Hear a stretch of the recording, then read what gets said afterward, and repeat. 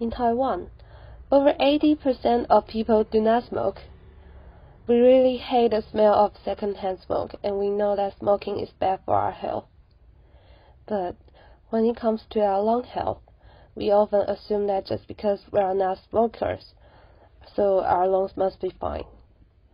But is that really the case?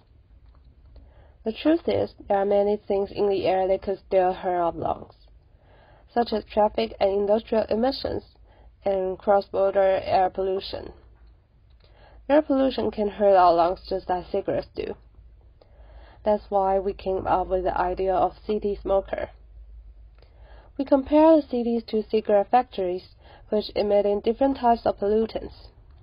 We created different packaging for cities in Taiwan displaying pollution levels through a range of blue colors reflecting each region's sky.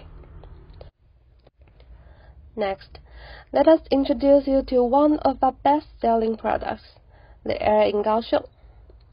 We can see the cute drawings of Kaohsiung's features, but if you take a closer look, you'll notice that there are also things contributing to air pollution, like ships and vehicles.